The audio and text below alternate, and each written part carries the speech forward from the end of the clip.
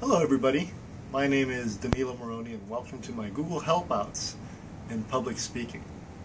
My goal is to make you a good public speaker in as short a time as possible. And we're going to do this in three ways. We're going to begin with structure. Then we're going to talk about passion.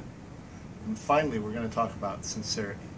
When we combine these three parts, I can guarantee you, you'll be on your way to becoming a successful speaker and presenter. So welcome to my Google Helpouts in public speaking, and I look forward to working with you. Thank you.